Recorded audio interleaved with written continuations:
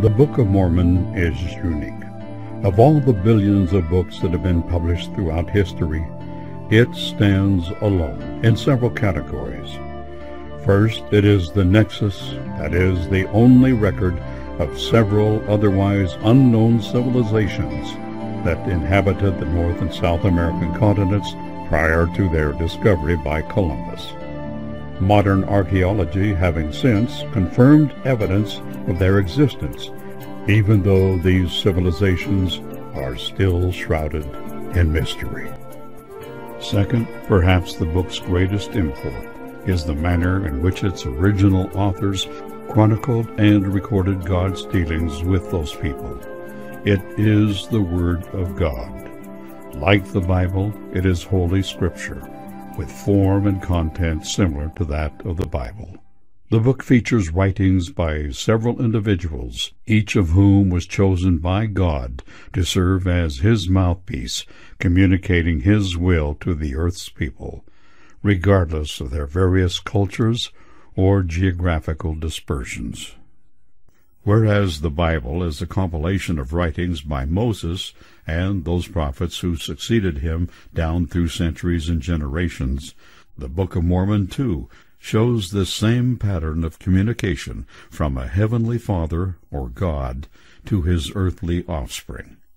He has always striven to be the guiding influence in people's lives, wherever they may be or whenever they may have lived. The prophet Amos said, Surely the Lord God will do nothing without revealing his secret to his servants, the prophets. It is the only account of those ancient American lives, and God's dealings with them, and how they disappeared. Which brings us to the fourth unique feature of this book. No other book in existence had divine involvement in its coming forth like the Book of Mormon. The young Joseph Smith, visited by a resurrected individual who introduces himself as Moroni, and tells the young smith that he is a messenger sent from God, and that God has a special assignment for him.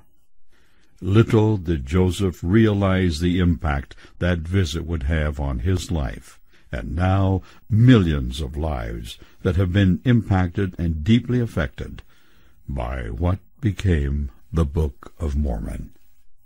A resurrected being an angelic messenger named Moroni, who happened to be the last of those ancient prophet historians, returning to the earth and showing the young modern day prophet Joseph Smith where he, Moroni, had hid up the ancient records under instructions from the Savior that they might come forth in the latter days as a testimony of Christ, a companion to the Bible and the New Testament a story of angels and gold plates and a modern day prophet. It has always divided believers from non believers. Those who do give ear to the Book of Mormon story have the most unique promise ever made a part of any book. Moroni closes his last comments that he had engraved on the gold plates. He had been looking forward having been told by God that these ancient records will one day go forth to the world, he promised any and all future readers, and I quote, And when ye shall receive these things, I would exhort you that ye would ask God, the eternal Father, in the name of Christ, if these things are not true. And if ye shall ask with a sincere heart, with real intent, having faith in Christ, he will manifest the truth of it unto you by the power of the Holy Ghost. And by the power of the Holy Ghost ye may know the truth of all things. Before I begin the Book of Mormon itself, let me advise you that this is not an official presentation by the Church of Jesus Christ of Latter-day Saints.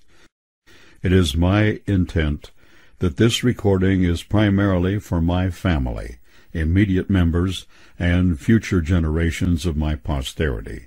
Should others come by it, please consider it a gift from me, unknowingly given, but with sincere hope that it might strengthen your own testimony of the Savior. Mel's marvelous audio recording of the Book of Mormon is available through Deseret Bookstores.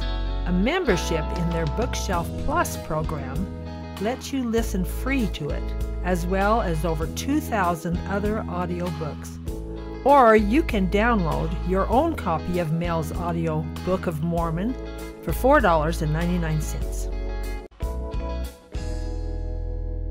Speaking of testimonies, one of the greatest gifts resulting from accepting and living the gospel is an individual's testimony, divine witness from the Holy Spirit that Jesus Christ is the Savior of the world, that Joseph Smith was his revelator and prophet, through whom Christ reestablished his church, that is, his kingdom once again on the earth, preparatory to the second coming of the Messiah. My beloved family members and friends, to whom this recorded version may come, since my early youth, I have had and enjoyed that testimony the Moroni speaks of through the power of the Holy Ghost. But this experience of giving voice to these beautiful and moving stories, having first, before recording, carefully reading even each verse and pondering on the emotions that those ancient prophets must have felt as they spoke or wrote those words. It has made an emotional and a spiritual experience for me that I cannot put into words. I am one of those millions who have found deep and abiding comfort in the messages of those ancient American prophets. My narrating or recording this as an audiobook is my way of reaching out to future generations of my posterity and sharing my testimony with you. I pray that each of you will learn, live, and love the beautiful and simple concepts of the gospel, God's plan for our lives. It is the simple, beautiful, and loving message Jesus brought to the world. I pray that it will dwell in your hearts and be the guiding light in your lives. Remember who you are, a son or daughter of our loving Heavenly Father. No matter how many times I read the account of Christ's visit to those on the American continent after his crucifixion and resurrection in Jerusalem, I am awestruck by his love for all people. The crowning event recorded in the Book of Mormon is the personal ministry of the Lord Jesus Christ among the Nephites soon after his resurrection.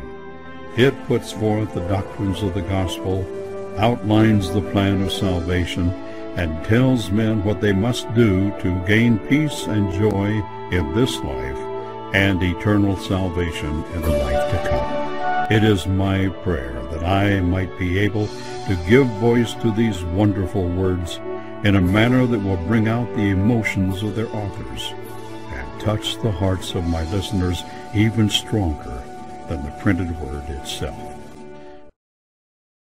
I know that not only does God live, that Christ lives. He is the Savior of the world and my personal Savior and my advocate with our Heavenly Father. I have come to so appreciate and admire what Joseph Smith, as an instrument in the hands of the Lord, was able to give to the world. I was so moved one quiet, beautiful morning in 1985 when my wife, Kathy, and I stood in the sacred grove near Palmyra, New York, and contemplated what happened there on that spring morning in 1820. The young man, Joseph Smith, praying for insight as to what our lives are all about, and a vision opens to him. He sees and talks with the resurrected Savior, who has just been introduced by the heavenly being with him who spoke these words to Joseph. This is my beloved Son. Hear him. To me, that event renders moot any argument about the nature, the individuality, and distinctness of the divine personalities, or the calling of the first prophet of the Restoration. That event in 1820 will someday be called the world's most significant day and event, second only to the day of Christ's atonement and resurrection. It already is to me. Now a note or two about the storylines of the Book of Mormon. It has its beginning in Jerusalem, about 600 B.C., just prior to the city being captured and destroyed by Nebuchadnezzar's army. One of the Israelite prophets, named Lehi, is warned by the Lord to take his family and leave the city. They depart with a few close friends into the desert, the beginning of a journey that eventually takes them to the then unknown part of the world today called the Americas. There they eventually develop into large civilizations that lasted until around 421 AD. Like all other civilizations in history, though, it is a constant battle of evil versus good. God and the Savior are constantly pleading through the prophets for the people to follow and live the principles of his gospel and live righteous lives, pleading that the gospel is and always will be the only way to true happiness. The Book of Mormon is a sacred record of peoples in ancient America and was engraved upon several sets of metal plates. Sources from which this record was compiled include the following. The plates of Nephi, which were of two kinds, the small plates and the large plates. The smaller were more particularly devoted to spiritual matters and the ministry and teachings of the prophets, while the larger plates were occupied mostly by a secular history.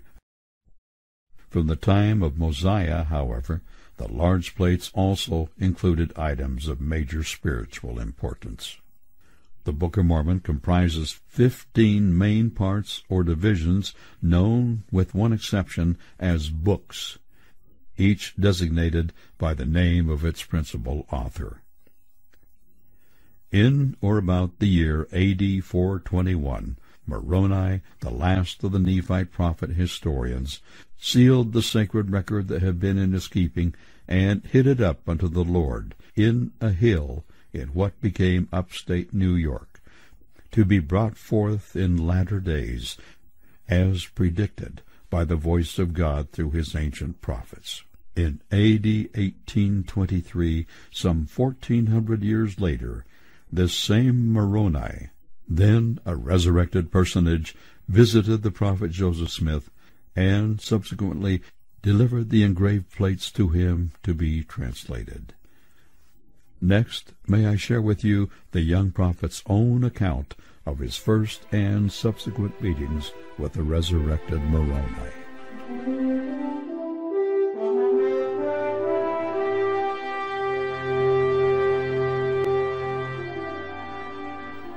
Now I'd like to read for you the official testimony of the prophet Joseph Smith of how it all began.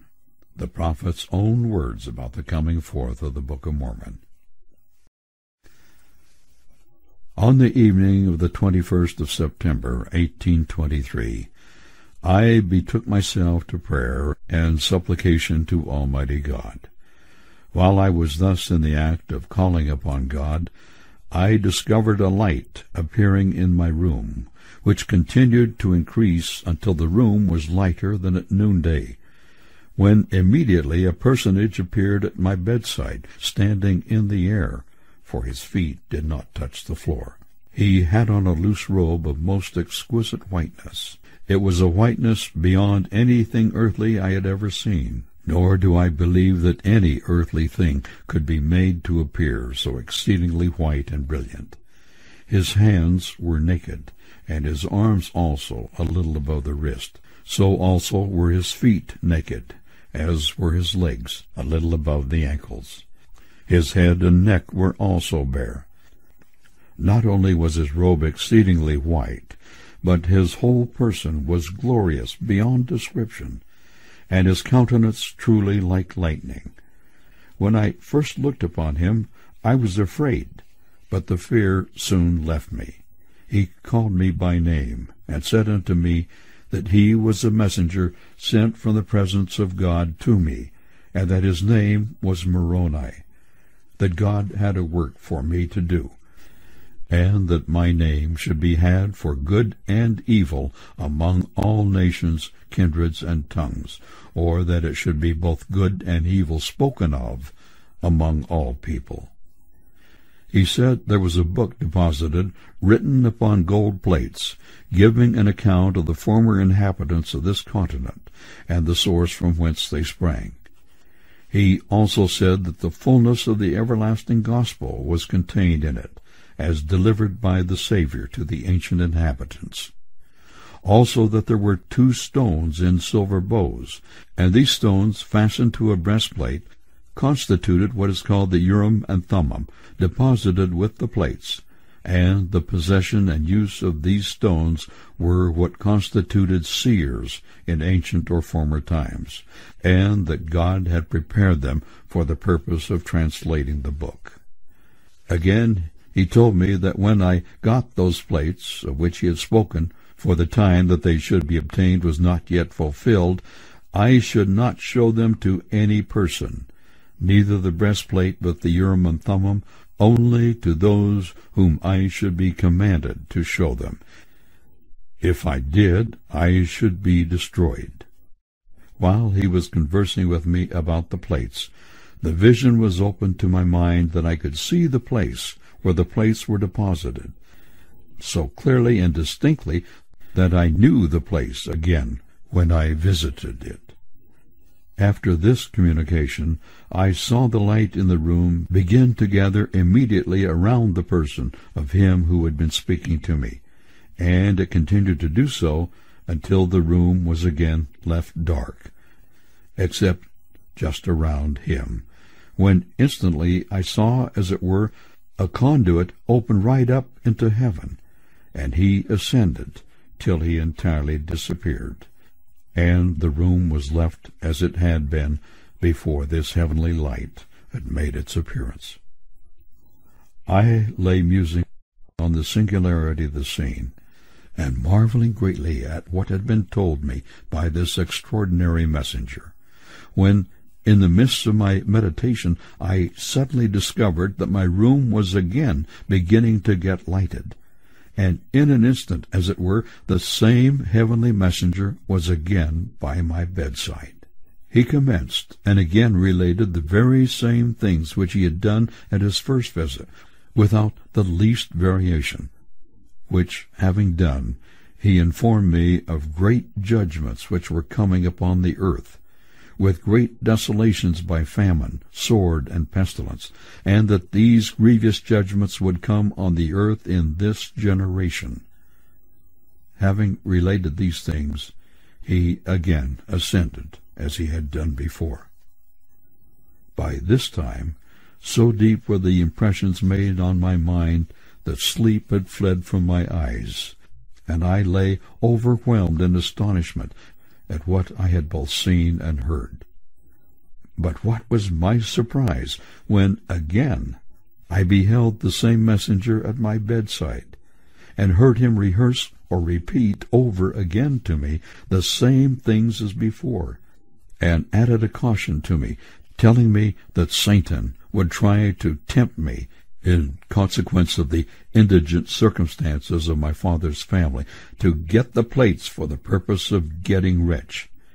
This he forbade me, saying that I must have no other object in view in getting the plates but to glorify God, and must not be influenced by any other motive than that of building his kingdom.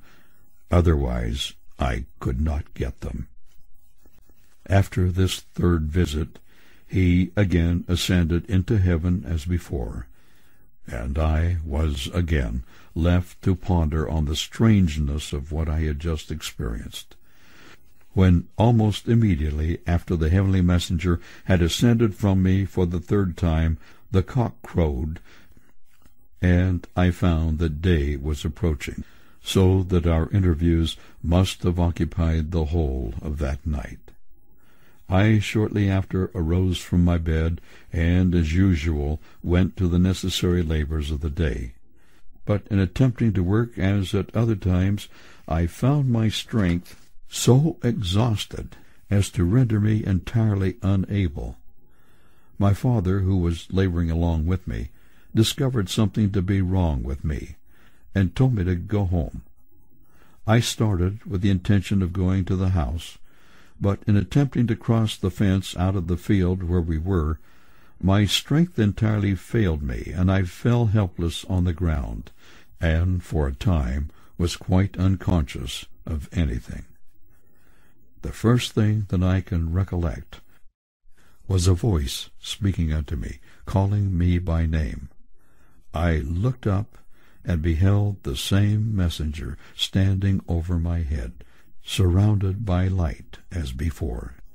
He then again related unto me all that he had related to me the previous night, and commanded me to go to my father and tell him of the vision and commandments which I had received. I obeyed. I returned to my father in the field, and rehearsed the whole matter to him. He replied to me that it was of God, and told me to go and do as commanded by the messenger.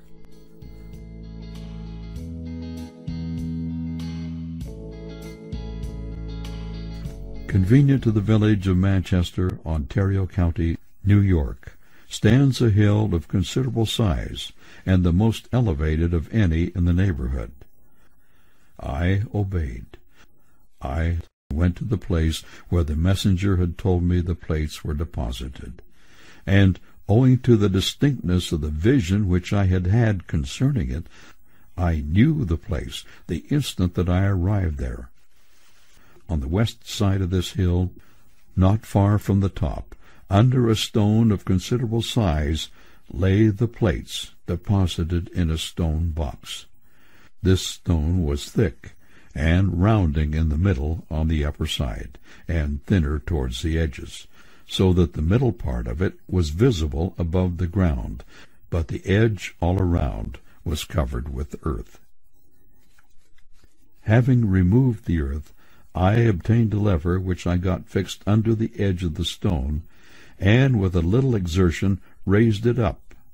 I looked in, and there indeed did I behold the plates, the Urim and Thummim, and the breastplate, as stated by the messenger.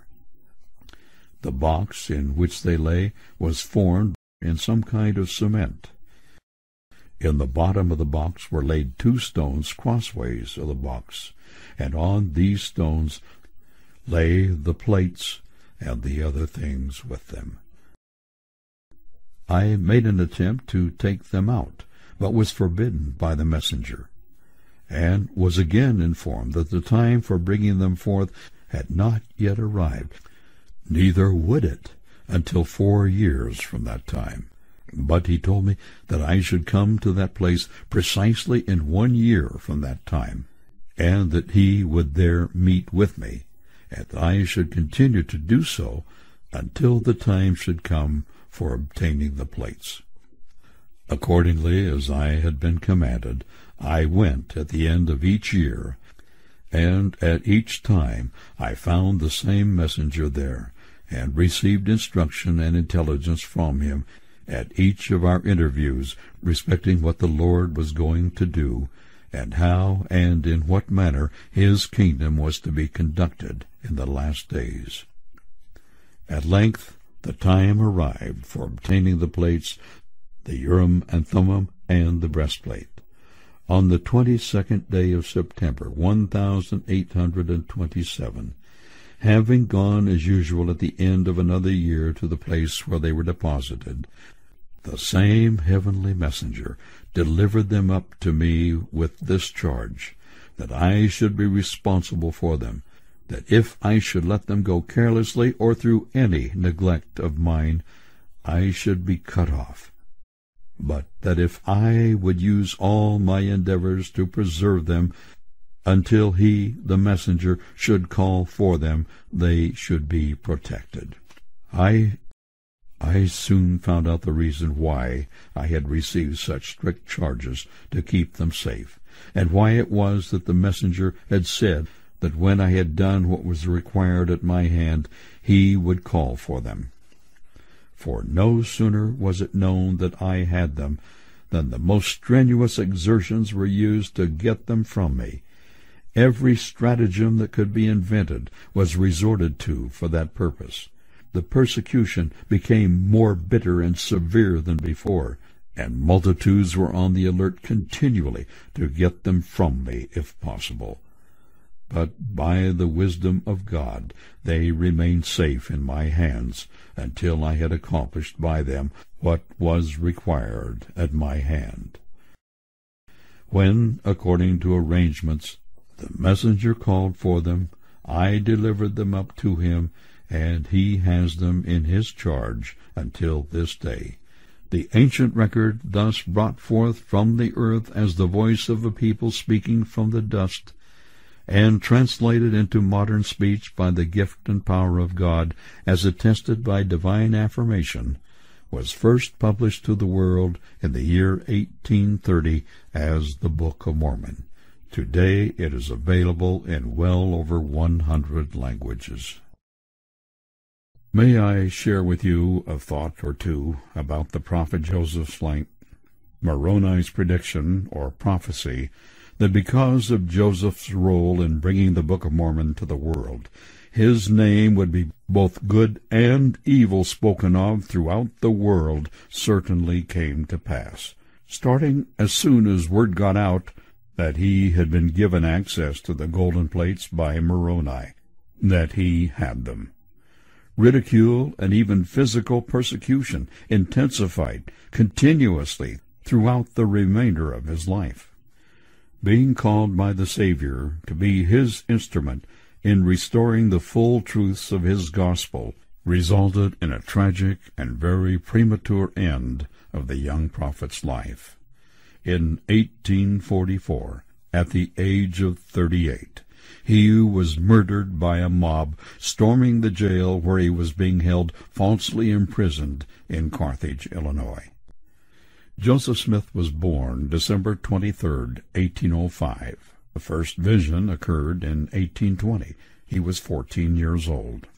Three years later, in 1823, at the age of 17, the resurrected Moroni first appears to him and began a four-year tutelage, preparing the young prophet for the task the Lord had called him to.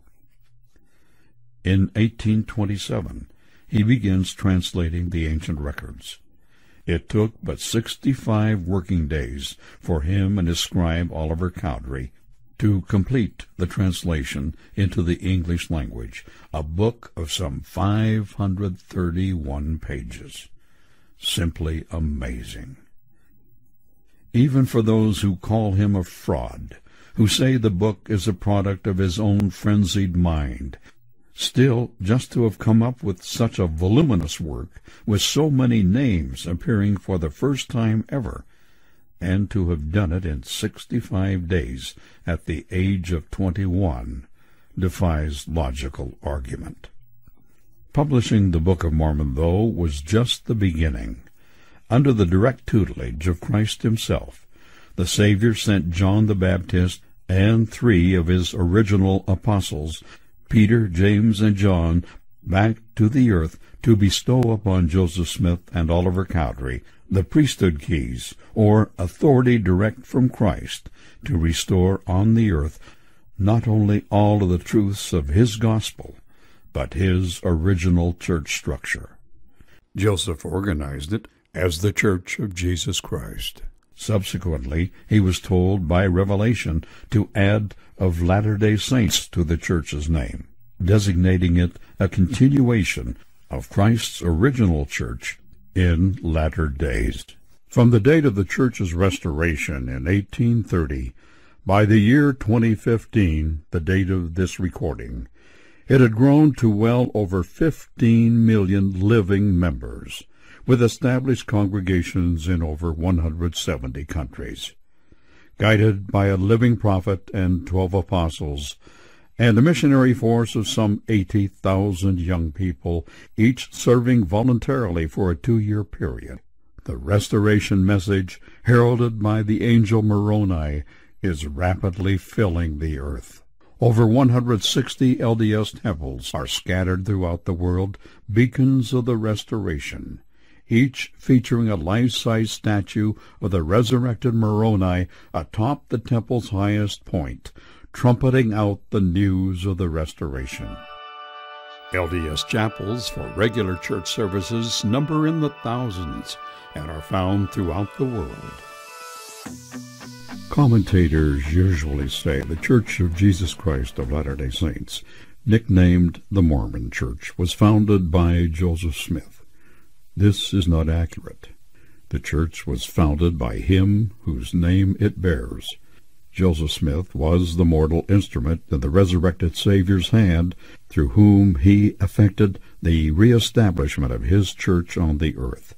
After Christ's death and resurrection and the martyrdom of all of his original apostles except John, the followers of Christ suffered widespread persecution at the hands of the Roman government for some 300 years, before the Roman Emperor Constantine decided maybe by making Christianity the state religion he might save the collapsing Roman government.